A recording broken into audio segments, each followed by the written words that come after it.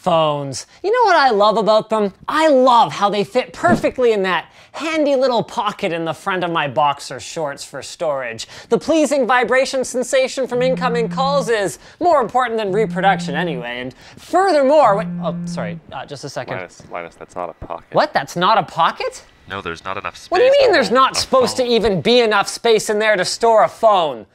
Well, maybe you just have a very small problem going on down there. Hey!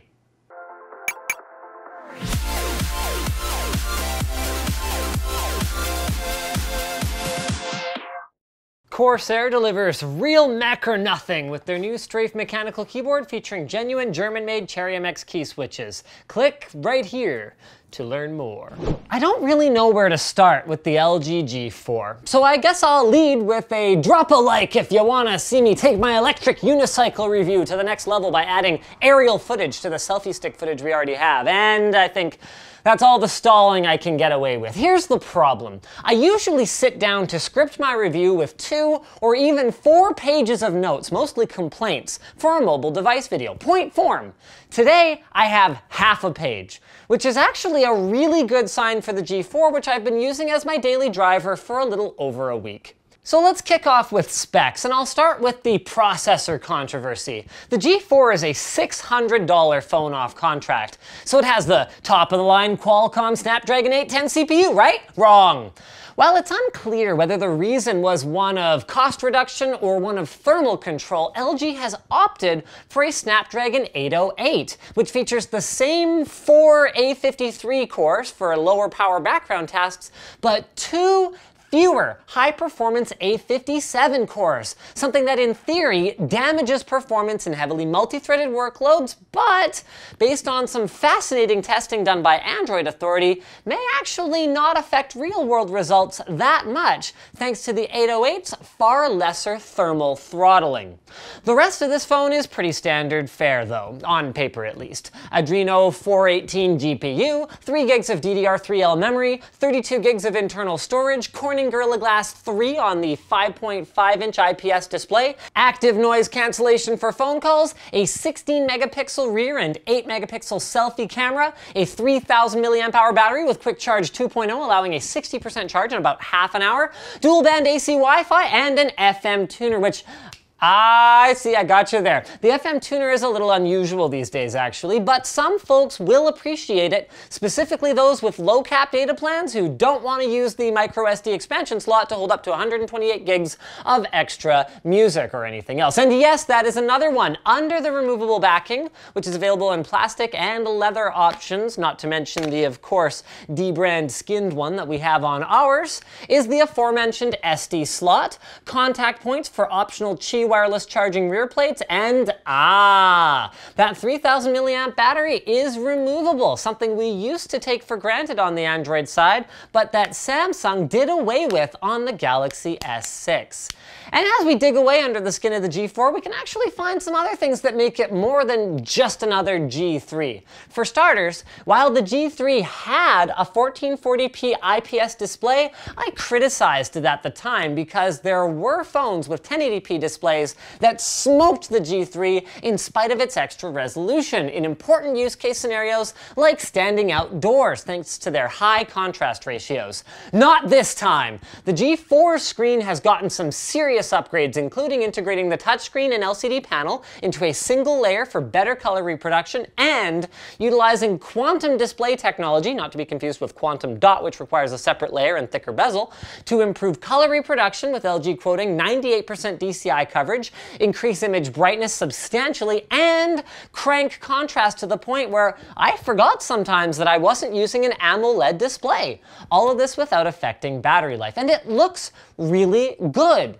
I still don't think 1440p is necessary in a handheld, but at least besides the extra strain on the GPU to power it in games and whatnot, there is no drawback now. So let's talk day-to-day use. Ergonomics of the phone are a strong point considering its size. I generally have trouble with anything above 5 inches, if you know what I mean, but it seems like I'm not the only one out there who feels like whether it's by merit of its gently curved shape, oh yeah, I guess I forgot to mention that the uh, screen is very subtly curved, or the positioning of all of the physical buttons, so up, down, and lock, on the rear of the phone, it's somehow less unwieldy for me than most 5.5 inch devices.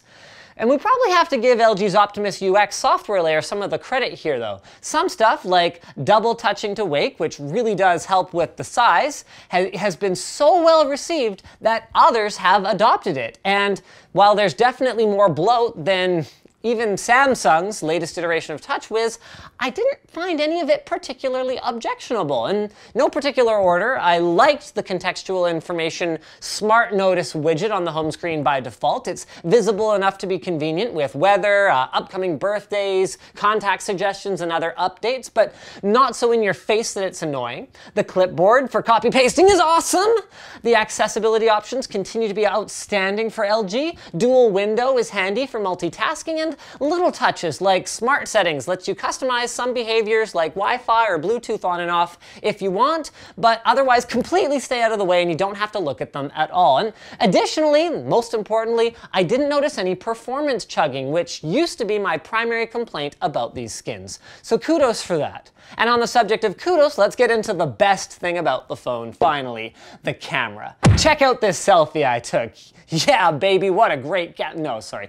While the front-facing camera is actually good, and that selfie, aside from the stupid face I'm making, is a pretty good one, it's the rear camera that truly rocks here. Its laser focus mechanism and built-in color spectrum sensor enable the G4's 16 megapixel camera to consistently nail the most important things about cell phone camera pictures focus, and white balance, giving surprisingly great results in auto mode, but throwing in raw shooting and then surprisingly fine manual control for the shutter bugs out there as well. And while I could criticize the camera app's slow startup time, uh, double touching volume down to launch the camera is good, and video recording it just took a picture. And video recording is excellent as well. The preview window is very fluid and doesn't resize when you switch modes. And thanks to three axis image stabilization, it's surprisingly easy to get rock solid footage out of it with all the usual modes, including Ultra HD at 30 FPS and slow-mo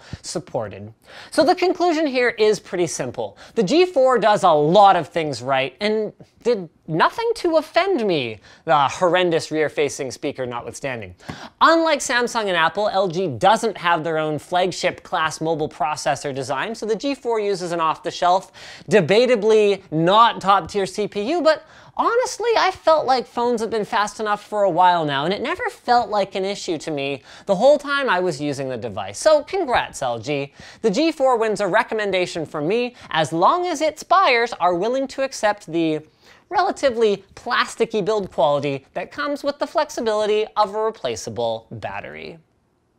And on the subject of the replaceable battery, some of you are probably wondering what exactly that sexy carbon fiber skin that I have on the back of the phone in all of our B-roll is. That, my friends, is a precision cut skin from dbrand skins. There are buds over there and man, do they ever do a great job of these things. You know, the funny thing about it is, is my first dbrand spot that I ever did, I was talking about how precisely they managed to get the fit so that it really did look like a piece of the phone phone. And remarkably, they have actually managed to improve it quite a bit since then. As you guys probably noticed in the B-roll, you can not see the seam in spite of the fact that that vinyl wrap actually doesn't even go around the edge of the backplate. It stops right at the edge of it. You just cannot find the seam once you put the phone together. So if you guys are interested in checking out some of the cool stuff they do, whether it's for phones, tablets, they even do laptops, game consoles, game controllers, head over to the link in the video description So check out dbrand.com and uh, yeah, pick it up. They're actually very reasonably priced and they're a Canadian company. So of course we love our Canadian Canadian bros. Actually didn't realize they were Canadian until sometime into the relationship and I was like, whoa, no way, they're in Toronto. And it was awkward because I was in Toronto and he was like, hey, why didn't you visit us? And I was like, yeah. So there you go. So I guess that's pretty much it, guys. If you disliked the video, bam, I think you know what to do. But if you liked it, then go ahead and slam that like button down below, or even consider supporting us directly by using our affiliate code to shop at Amazon, buying a cool t-shirt like this one, or with a direct monthly contribution through the community forum. Now that you're done doing all of that stuff, you're probably wondering what to watch next, so click that little button in the top right corner to check out Scrapyard Wars 2, which is finally finished. All five parts are up, including the stunning conclusion where we discover who wins, Linus or Luke. A lot of you have probably watched it already, but if you haven't, do definitely check it out.